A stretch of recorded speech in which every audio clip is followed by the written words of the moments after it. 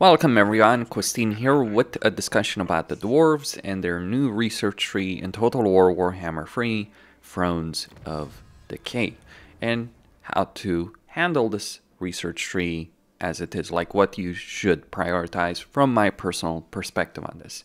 You've got two major tabs. You've either got guilds or you've got clans. Both of these have certain research that does require oath gold. And you will want to do this research, not necessarily because of the benefits that that particular piece of research will grant, but rather because there's different tiers of research. So for both of these trees, you have initial tier that you unlock uh, with uh, one initial research, either marching songs or the way of the guilds. And then you have tier two, which requires seven uh, seven pieces of research for both of them, and then tier three, the final tier, which requires five additional pieces of research from tier two. That's how things are unlocked. Now, clans buff military units.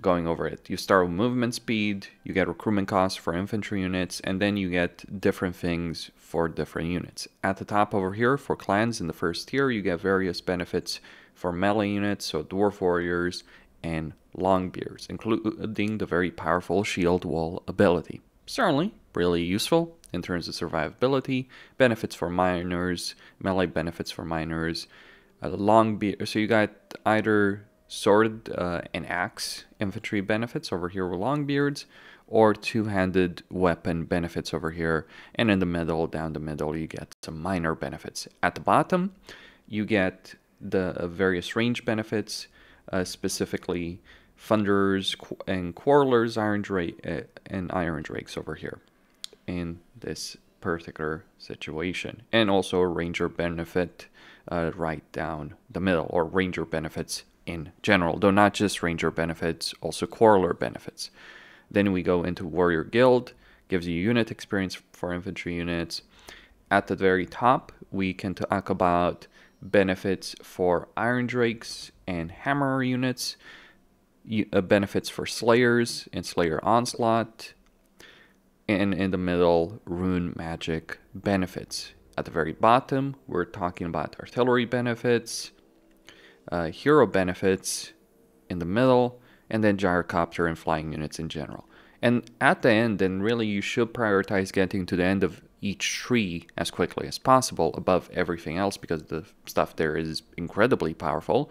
You get Age of Reckoning Grudge Settler army size, so the army that spawns when you fill up an Age of Reckoning increases by 2. This is incredibly powerful because we're talking slightly better units the default ones, and you're talking things like hammers, longbeards, quarrelers, grudge throwers, flame cannons, iron drakes. You can defeat legendary lords with a grudge settler army. I've done that in multiple campaigns, manually fighting them. Um, then you get a minus 5% upkeep for all units, and then call an oath grudge settler unit capacity per army. Grudge settler capacity means that the number of units in an army, the red units, if you will, you can get six as opposed to five. There are other ways to increase this as well through legendary grudges. Uh, so specifically the one grudge that you're looking at in order to increase that grudge settler unit capacity is the Crooked Moon.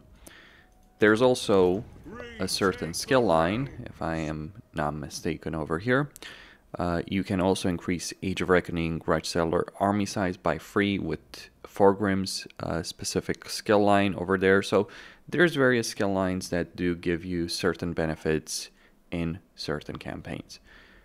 But regardless of that, for all the military benefits, I'd personally argue very firmly in favor of the clans because the dwarves have never had an issue with their army being weak it's always been issues of casualty replenishment, issues of growth, issues of income. And that's where the guilds really shine. Starting with the first year, you'll get diplomatic relations and growth, which means that, yeah, you're gonna already start in a pretty good position in terms of your growth. But then things will get a lot better. One of the things I would prioritize getting very quickly is rat poison. You look at storage vaults, you don't care about the defense buildings, but you do certainly want rat poison. 5% faction wide casualty replenishment is pretty significant, especially because, be it if you recruit a lord or a rune lord, there is a skill, in the case of rune lords, a choice of a skill, though I would recommend getting it, that also gives you 5% casualty replenishment. Dragons, uh, demon slayers don't have that they focus on Slayer replenishment, so keep that aspect in mind. But you can get the Dragon Slayer replenishment hero in the army, and it will mesh very well. Uh, down the middle path for the first tier, in the upper part of the guilds, you get construction time for provincial capital settlement buildings at the very top. After you get construction cost and income. The these two are not particularly worth it, but this one is exceptional because it means you can get all your settlements that are constructing, you can do it faster. And keep in mind, there are other benefits that you can get in terms of construction cost that end up being very powerful. Uh, you can also get benefits for construction and for military recruitment buildings and support buildings. Support buildings basically are advanced military buildings, so things like rangers, uh, artillery buildings, flying unit benefits, all of those are available through there. At the bottom, you get benefits for different kinds of resources. So more income, basically, trade resources produced. I would not prioritize the bottom stuff.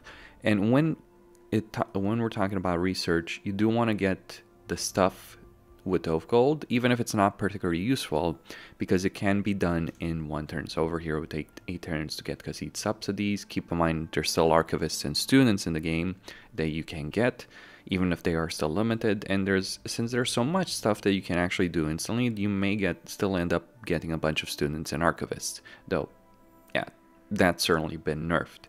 The stuff at the bottom is more like economic benefits, so I would not necessarily prioritize that. I'd prioritize the top and first tier.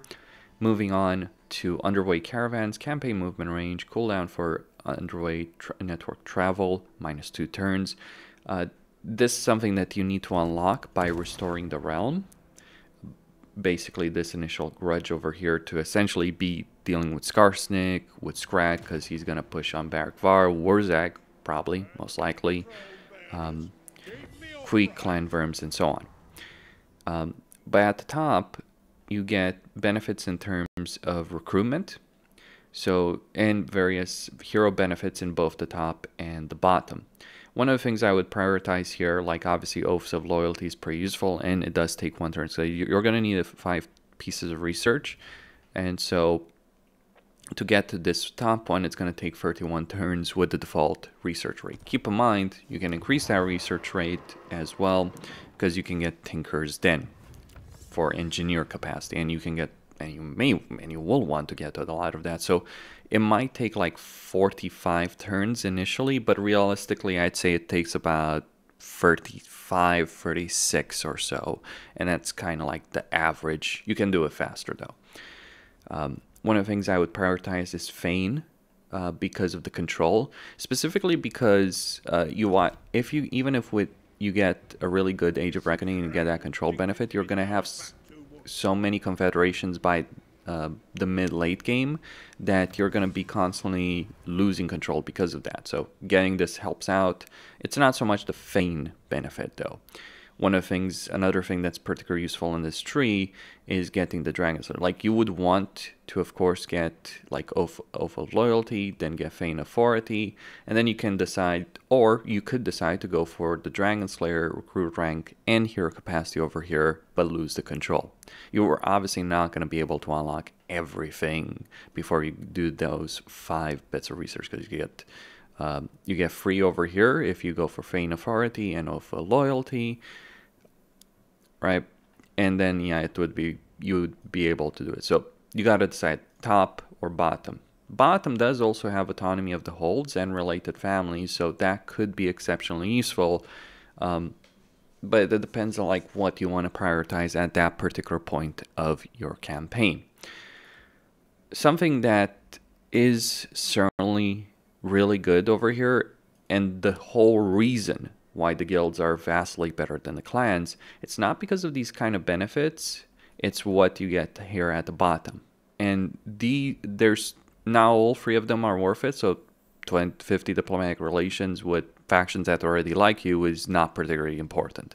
The allegiance points is nice, but what is important over here is construction guilds. So you have a bunch of research early on that reduces construction time, especially provincial capitals. Then you have another research that gives you construction time minus one for all buildings. Combine this with other pieces of research, you're constructing every single building significantly faster. It does take a thousand golf gold, so you're going to want to save up on that. And one of the things I would say, don't spend your early oath gold on the forge at all. The forge I would treat more as a luxury item when you're really late game, because unlocking this kind of research is a far bigger benefit. And then you have something that makes the dwarves incredible, the Grand Throne Chamber. So you're already in a situation where you build stuff very quickly, you'll be able to build stuff cheaper as well, and you have income scalability in a dwarf campaign because you tr produce trade resources, but then you get population surplus plus two for newly captured settlements. And since most provinces are like free settlements in them, some four, some two, but mostly I'd say the average is free, that means you can get like anywhere between four to eight population surplus in the provinces that you capture.